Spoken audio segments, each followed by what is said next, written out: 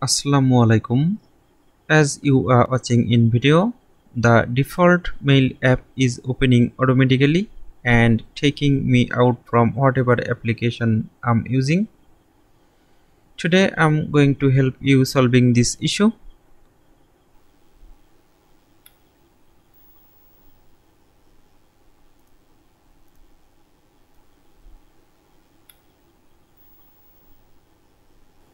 Now let's enter in setting. You see how it is annoying me?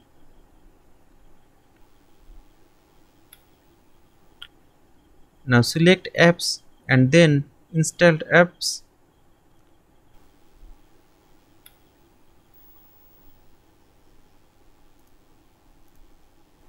This is the app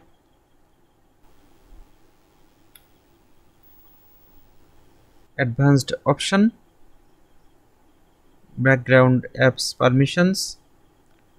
To stop this app running in background select never from the drop down menu.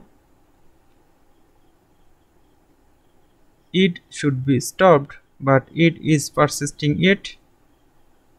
No worries. I have another solution. I'm laptop computer user and this is my external keyboard.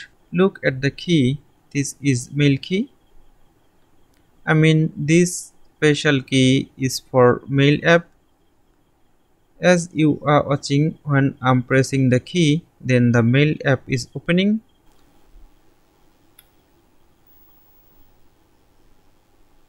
But when I'm not pressing then it is opening too.